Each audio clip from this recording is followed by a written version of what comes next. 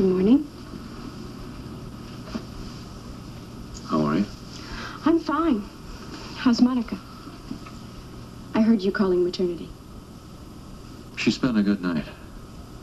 Considering everything that you and she and Gail went through the night of delivery, I'd say her progress was amazingly fast. Lesley, I wish you would get some rest before the festivities tomorrow. Why? Don't you think my progress has been amazingly fast? My point is that Monica is no longer our primary consideration. Well, if that's so, I don't really understand why you spend so much time on the phone checking up on her or talking about her. Mostly because I'm trying to get through to you.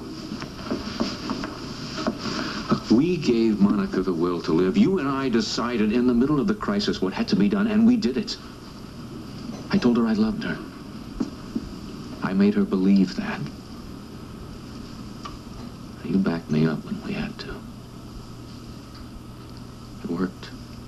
As you said, amazingly fast. Lesley, I cannot go on making her concerns more important than yours. Really? That surprises me. I love you. I've always loved you. I think you know that I always will. We have to discuss this. We have to put everything right out in the open. We have to put it into a proper perspective and get on with our lives. Now, what I did, I am sorry about. I couldn't be any sorrier. There were reasons. I've given you those reasons already. I think now it's only a matter of are you woman enough to forgive me? What did you just say? I said, are you woman enough to forgive me? That's what I thought you said.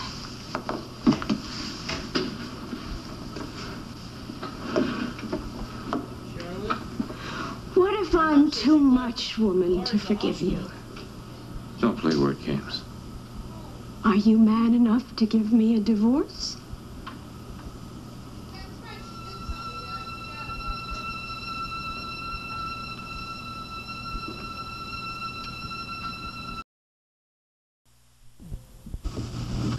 Want a divorce. You must be out of your mind. No, no, I'm I'm quite sane. Two miserable, lonely, unhappy people thrown together for one night. Now, they are both estranged from their marriage partners, but they are trying to find comfort and love. One night, something that happened one time and never again. Are you going to tell me that that, that can ruin all the love and devotion that we have had these years? I can't even believe how blind you're being. That little fling of yours with Monica. All right, all right, all right. That never happened before. One night only never happened again with Monica. I could easily overlook and forget. It's your son with Monica that I can't forget. Lesley, the only evidence you have that it is my son is that in a moment of delirium, Monica, when she thought she might be dying when her baby was being born, was to say that I was the father. Now, she swore to me a number of times that she was on the pill that night. She lied. A woman knows her own menstrual cycle. She knows what man is around when. Monica is a doctor. She certainly has detailed knowledge of the ovulation procedure. I say she lied. And as for the night the baby was born, I'm the one that was there. I'm the one that heard it, and I'm telling you she told the truth then. She thought she was dying. That is your baby. The son you wanted so desperately, you have. It's just that it happens to be Monica's, not mine. No, please, please don't touch me, please. Lesley, I'm. No, no, I, I'm not crying. I'm not crying, and I'm not going to cry. And it's, it's not because of. It's not because of you. It's because of the baby that I wanted to have with you. And all that time that I knew that I couldn't and I was dying inside, you knew that Monica was going to give you a son, and it just tears me apart. Why can't I make you see that?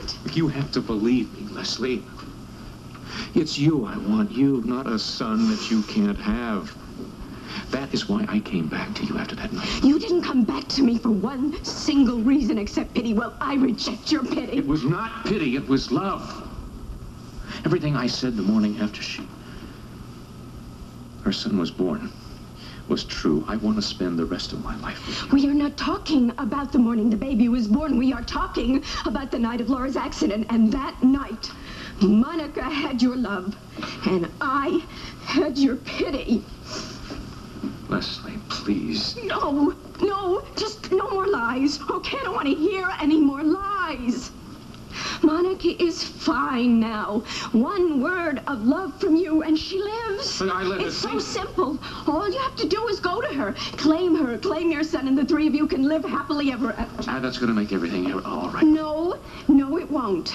But I won't have to be here watching Alan look at that baby with love and pride and joy as his heir, and I won't have to watch you see your son grow up as Alan Quartermaine Jr. And for heaven's sake, whatever you do, you've got to be very careful that nobody sees you looking at the baby the way you're bound to sooner or later.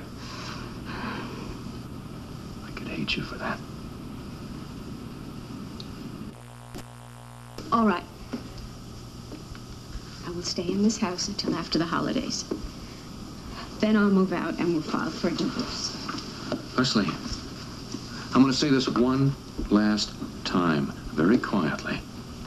There will be no divorce. I will not even discuss it. Now, as to moving out of this house, I will be the one who goes. Oh, no, no, that's Yes. the point I won't even argue with you. This is your home. This is your family's home. Your roots are here. I know your emotional attachment to this house. It's exactly why I'm going to be the one who goes. I am tired. I am sick and tired of memories. If you won't stay in this house as my wife, then I want no commitments of any kind. Period.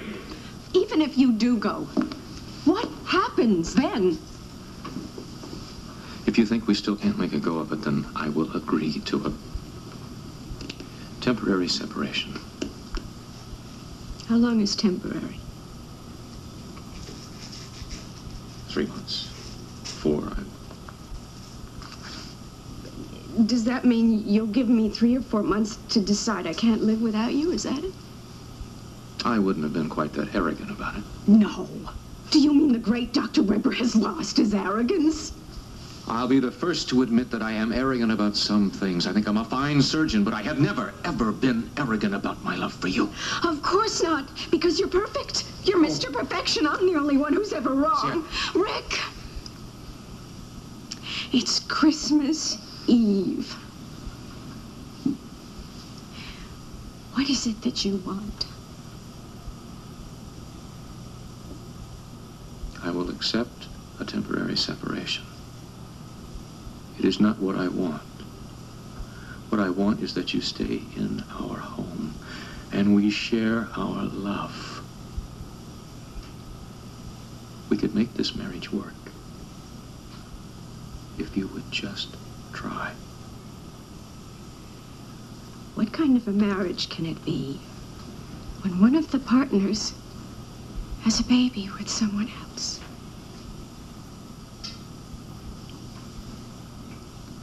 Love you.